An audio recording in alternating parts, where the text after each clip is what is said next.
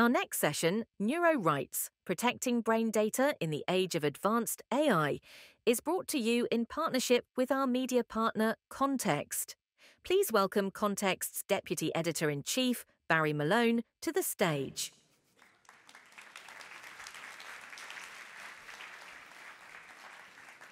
Hello, good to see you all. Um, as you've just heard from the voice of God, I'm Barry Malone. I'm the Deputy Editor in Chief of Context. Um, we're the media partner this year for the Trust Conference.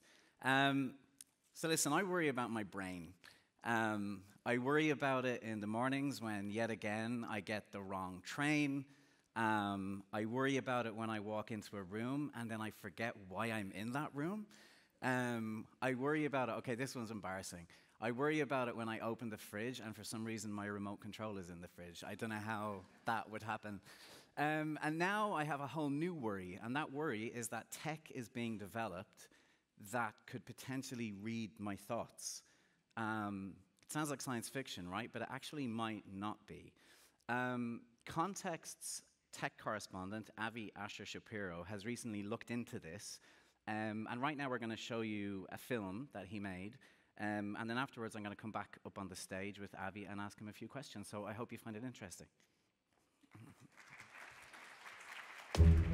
You can go online right now and order dozens of products that can read your mind. This is not science fiction.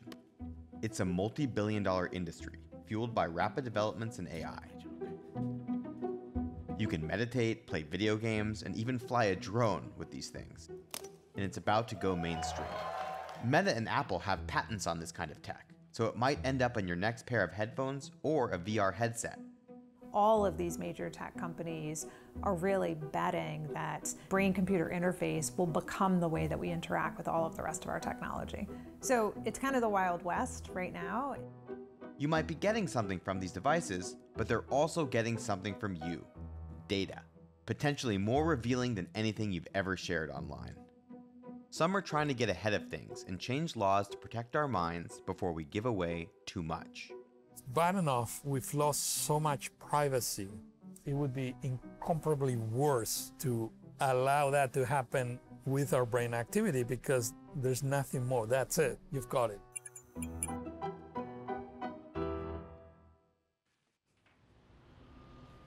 So this is where patients have their brainwave tests done. This is Dr. Sean Pauzauskie. He spends much of his time studying people's brains. That usually involves expensive and clunky machines like this. How's everything feeling? Which take electroencephalograms or EEG readings of your brainwaves. But more and more, he's been using this. This has been used in over 200 studies to detect all kinds of things. An over-the-counter device that costs about 300 bucks. Pauzauskie has used devices like this one in clinical studies with patients suffering from intractable epilepsy. He also uses them at home to meditate for fun, he tracks his brainwaves while he plays the piano. He even got his personal trainer hooked. It helps me stay focused throughout the day and not get caught up with distraction. Pauzauskie sees these playing a big part in the future of neurohealth, and he's not alone. In a recent poll of neuroscientists, most said EEGs will be used to detect seizures or degenerative brain conditions like Alzheimer's within years. Further out, some think it could diagnose mental health conditions and maybe even read our dreams. Is this the one that you'll be able to potentially control a object yeah. on the screen? Yeah. Yep. But the more he used it, the more he got concerned. What does this mean for privacy or autonomy in a world where the biggest tech companies have direct access to our brain? I saw this as a revolution about to begin, um, but there are also these potential pitfalls, and I wanted to be a part of the solution and not a part of the problem. This sent him on a mission, which led him to lawyers and lawmakers, scientists and industry lobbyists, and eventually to the passing of the first brainwave protection law in the United States. House Bill 1058 is passed. But first, it led him to Rafael Yuste. Yuste is a renowned neuroscientist who had a similar revelation to Pauzauskie about 10 years earlier. He calls it his Oppenheimer moment. The moment came to him while he was experimenting on the brains of mice. He discovered that using lasers, he could not only detect with incredible accuracy what they were thinking, but also convince them they were seeing images that did not exist. We essentially broke into the brain of the mouse and took control over his visual perception. But that night I did not sleep because of the realization that what you can do in a mouse today, you can do in a human tomorrow.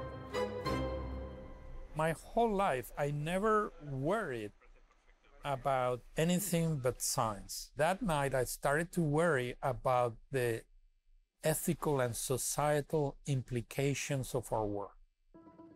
It's not hard to imagine where Yuste's mind went that night. In the wrong hands, mind reading and mind altering devices could have devastating consequences. Think of what a crackdown on dissent could look like if an authoritarian government knew what people were actually thinking. So we launched the NeuroRights Foundation and began working to regulate an industry that is operating with very few guardrails. He's worked with the Chilean government to build brain related rights into its constitution and launch an advocacy campaign to get lawmakers across the world on board. Earlier this year, the foundation released this report identifying about 30 consumer products and evaluating their privacy policies. Spoiler alert, most of them failed. We found uh, practically all the companies allow themselves to sell the data to a third party. One of the companies on their list was Neurable.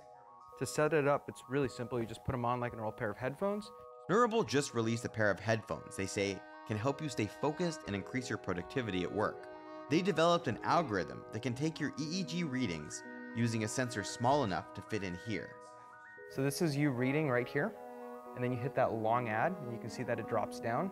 Its app sort of gamifies this, giving you daily points based on the time you stay focused. It promotes you to do a little bit of work every single day. Neurable's CEO, Ramses Alcaide, envisions a world where neurotech is everywhere. Now imagine football helmets that are able to track traumatic brain injuries.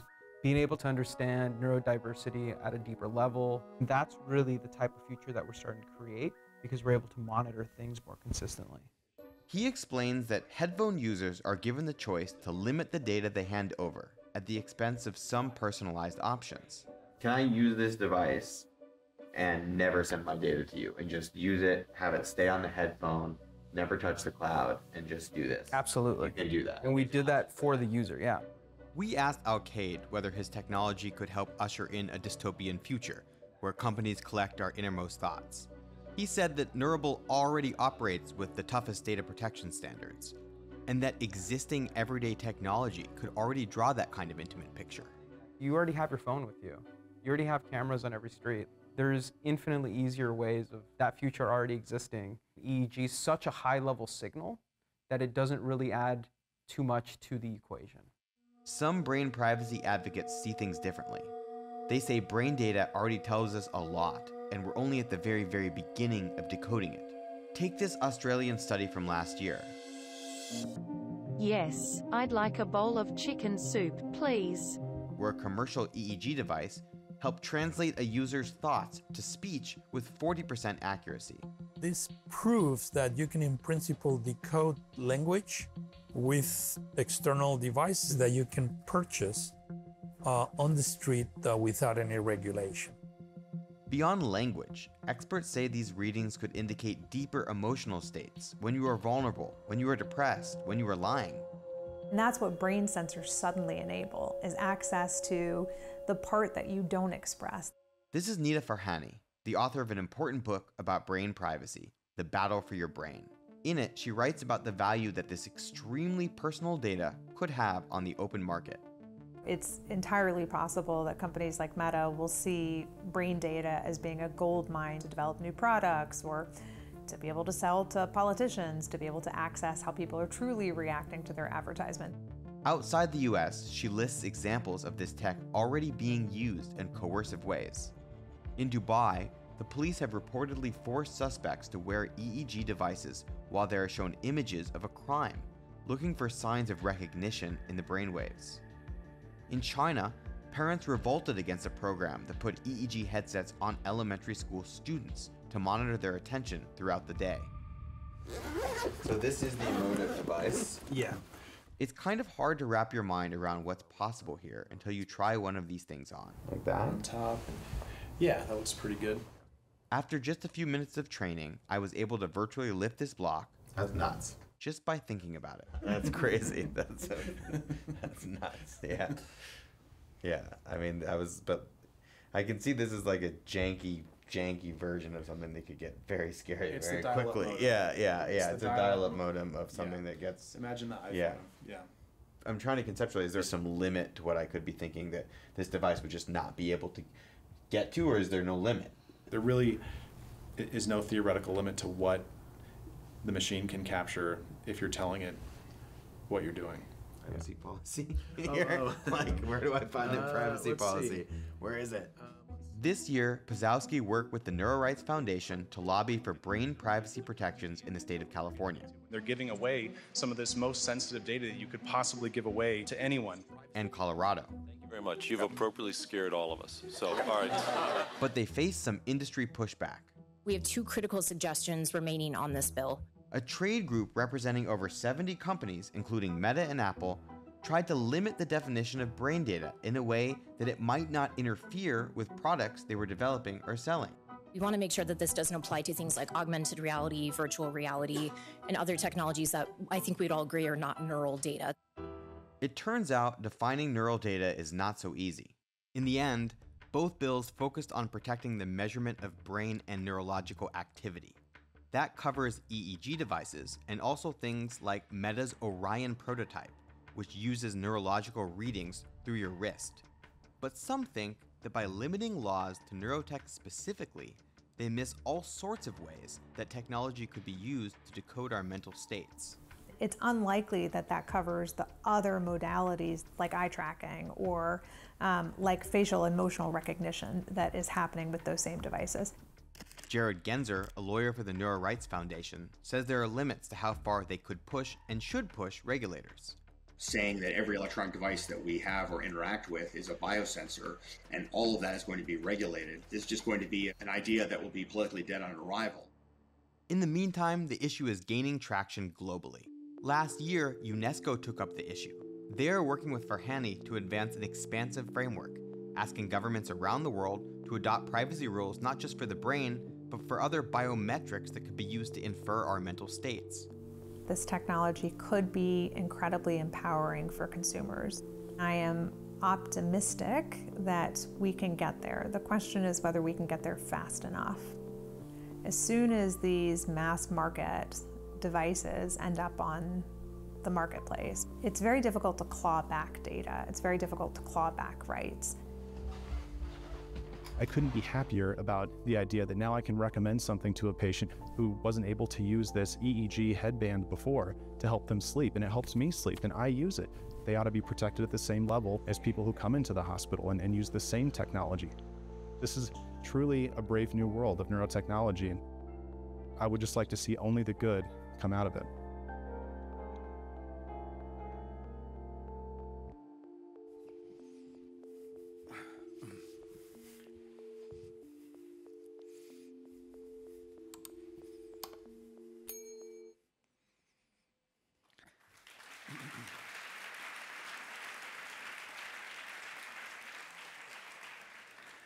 All right. Um, wow, that was super interesting slash mildly terrifying. uh, everybody meet Avi, who you've just seen um, in the film there.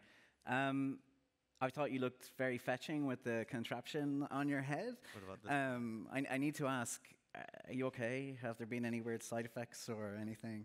I'm great, yeah. You doing okay? Yeah, yeah. Okay, good to know.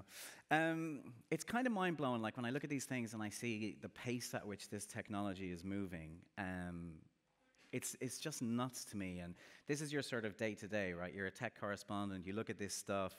Do you find it easy to predict or see these things coming down the road? No. I think, I mean, you, you see Dr. Pauzauskie say it in the film that, you know, it feels like we're looking at the dial up version of a technology and you know, there will be an iPhone someday. But, you know, maybe there isn't. I mean, I think one of the, the tough things about this is, is trying to project into the future, like, especially trying to regulate something when it's, you know, quite clunky. Uh, you know, I, th- I think back to like the late 90s when they first started putting like GPS in cell phones, and it was like kind of a hobbyist thing. You know, I think the company was like Dutch or something that came up with it, and I don't think anyone would have predicted that a couple of decades later governments would be like knocking on the door of Google and saying, giving me the location data of every single Yeah. person that walked by a crime scene. But that, you know, geofencing warrants became like the marquee privacy issue decades later. So trying to figure out what that is for, for, for brain tech is, yeah, I, I have no idea. And, and you have people who, part, part of being a reporter is talking to people who have vastly different visions for what the future is going to look like, which is fun and, and also confusing.